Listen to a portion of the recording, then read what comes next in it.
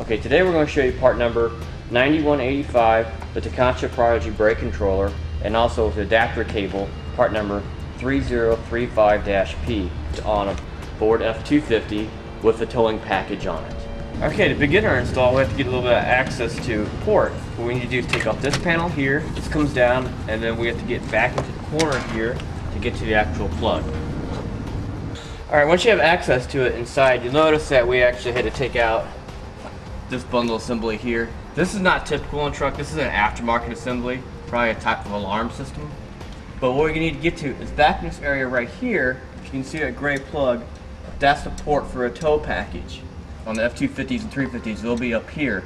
However, on this, there is one a, a variation like this vehicle here. This plug was actually mounted by the firewall. A little bit different, but whatever reason, there's a variant.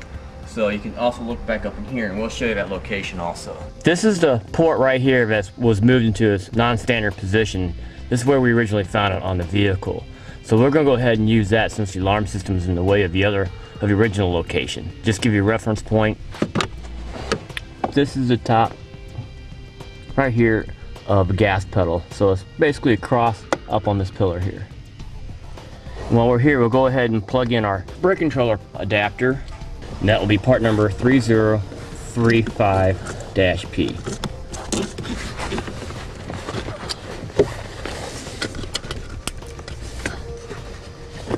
Okay, now we can go ahead and plug the other end of this into our brake controller after we install the mounting bracket. All right, next what we'll do is we'll mark our bracket for positioning. What we'll do is we'll go ahead and just hold it up here on this bottom edge where it's nice and flat.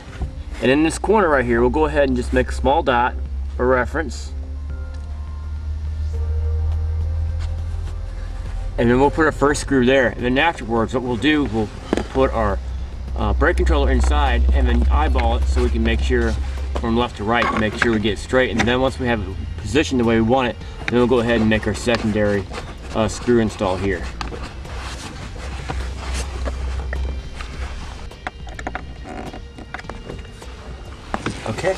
Okay. At this point we can simply just go ahead and install our adapter cable in. And then we'll just mount it right up here. Okay, we got the brake controller installed now. The last thing we do is just take our wires and zip tie them up to a safe position and we're finished and all we gotta do now is just test. Okay, now we'll go ahead and check it. Obviously we got two lights going here. One is lets us know we got power going to it and the other one is a boost setting. So that way we don't got power going to it already. Now what we can do next is go ahead and use our manual override and it shows NC it tells us there's no connection to it. Which is obvious we don't have a trailer hooked up or a tester. So also, what we'll do is go ahead and get our tester and just try it out then. Okay, plug your test device in, as you can see here, we have a C for it's connected. We'll go ahead and test the manual override, and it starts sending out voltage. And it looks like it's up to, all the way up on the scale, 1 to 12.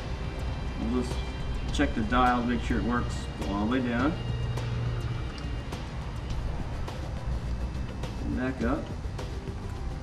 And we'll leave it about right in the middle leave it in the middle about six is a good way to start testing to make sure to fine tune it to what kind of load situation you have in your trailer.